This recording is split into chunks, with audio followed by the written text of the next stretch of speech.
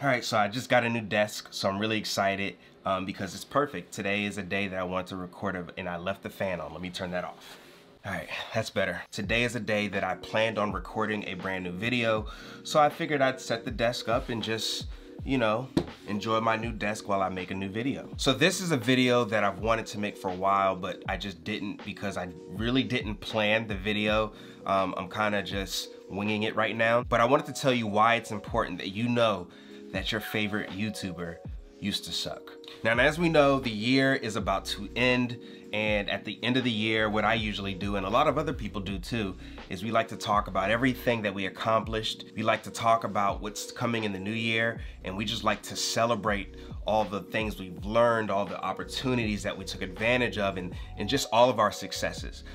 But I think we fail to mention all of the times that we weren't successful. We don't talk about our failures. So for my last video of the year, I thought this would be a good opportunity to talk about a lot of the failures that I've had, and there's been a lot, trust me. So really quick, I just wanna talk about some of the failures. So this year was the first year that I freelanced, and there's a lot of things that I, I learned and I learned by doing the wrong thing. One of the things that I failed at is not planning videos the right way. Planning a video, planning anything will save your life 100%. I did a lot of free work and I think I made a really good amount of money this year. I'm proud of what I've done, but I did a lot of free work that I shouldn't have done. I sold myself short a lot of the times by undercharging in a great amount.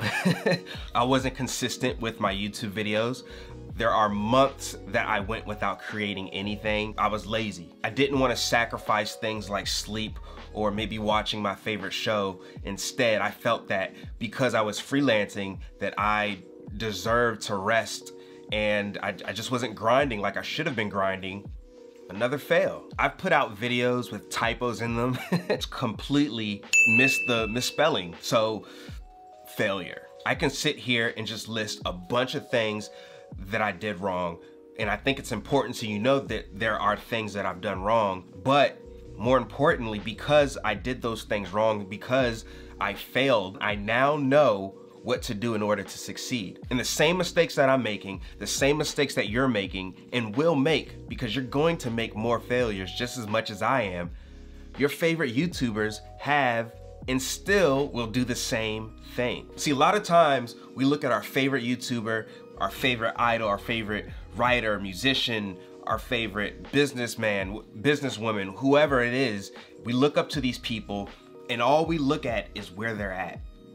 We forget to look at the entire journey. We forget to look at where they started, how far they come. That person that you think is such a good speaker on camera, they weren't always like that. Creators like MKBHD, Shane Dawson, Mr. Beast, PewDiePie, L of the Mills, all those people, I challenge you, go to their very first video and you'll see a big difference, not only in quality, but a big difference in the person they are today. Uh, at least, you know, the, their online personality because we don't we don't know them personally. And to me, that's where the inspiration comes from. I think that, and I'm guilty of this, we make the mistake of looking at only a part, only a portion of a person's journey.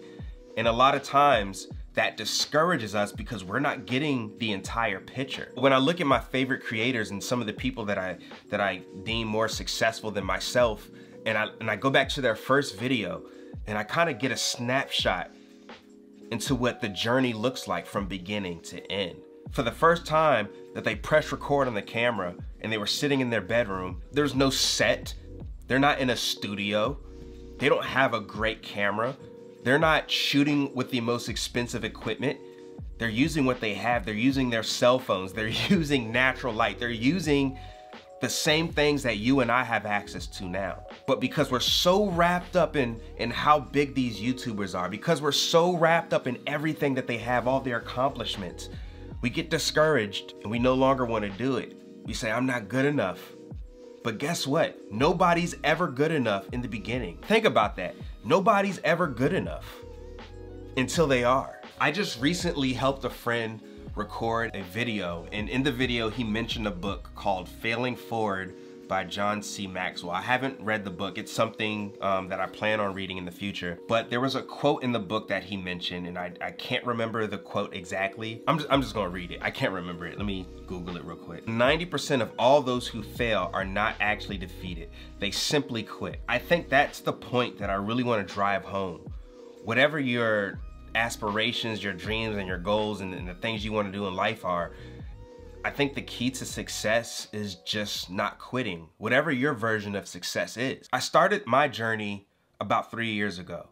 In 2017, I think it was June, I uploaded my first video that I made for YouTube. It's not a great video. I recently did a video on how to improve on your videos. I'll put a link somewhere up here that you can click on if you wanna check that out.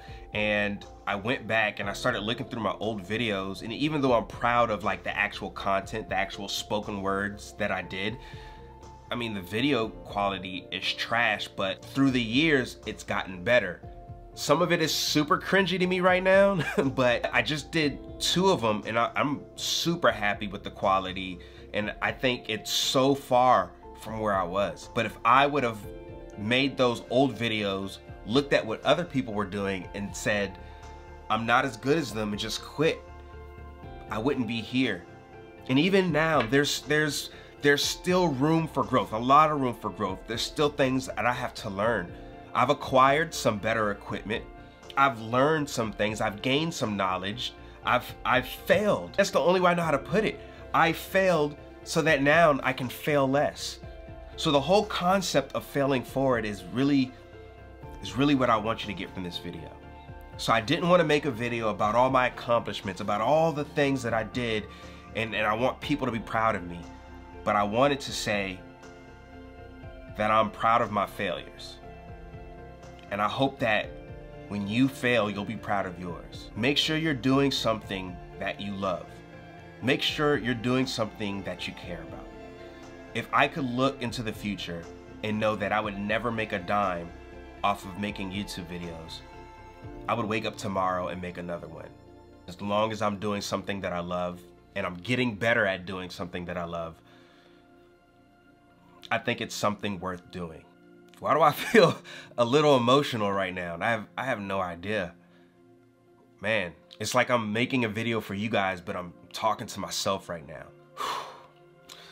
So in the next year, I um I just want to make good content for you guys and I just want to thank you for everything that you've done for me this year. I'm not a huge YouTuber. I'm so grateful for the views and the subscribers that I have, for the people who are interested in any of the content. I have videos with 20,000 views on it, and I'm so humbled and grateful for those for those views. I have videos with 100 views on it, and I'm so humbled and grateful for those views. So in the new year, continue to fail forward, continue to do the things you love, don't quit, don't compare yourself to others. Remember, your favorite YouTuber used to suck. And um, yeah.